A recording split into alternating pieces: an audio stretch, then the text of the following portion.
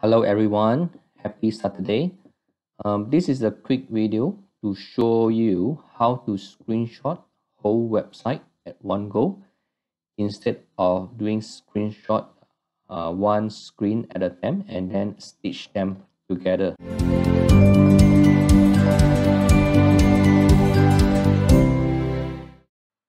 Hello everyone, my name is Hao Zong. I'm here to help you to use office work tools such as Excel and Power Automate. If you think my videos are helpful, please help me by subscribing to my channel. Thank you. For this example, I am going to show you how to screenshot google.com finance uh, website. So normally if you don't uh, use my method, you will screenshot uh, screen by screen. You will screen you probably screenshot like this and you paste on Word then you screenshot the next screen.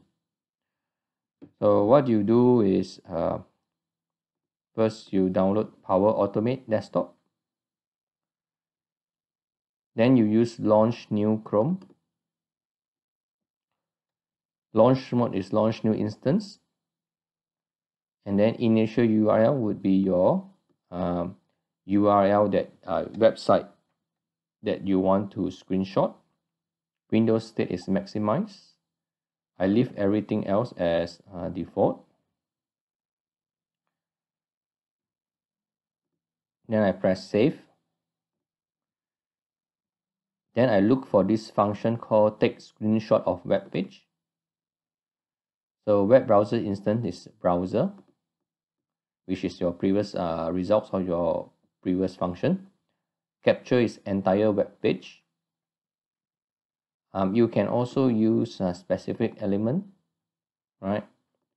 Whereby you can just uh, screenshots uh, part of the uh, website, right?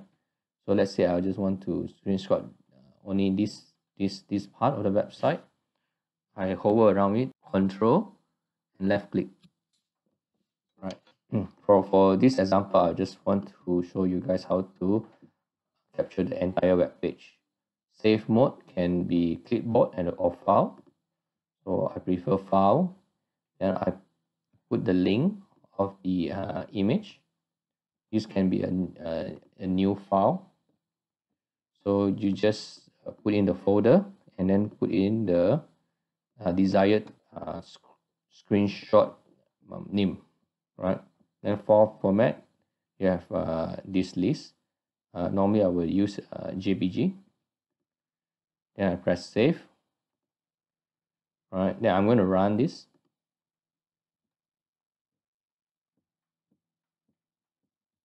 So it will open up the website. Then it will try to do a screenshot of the whole website.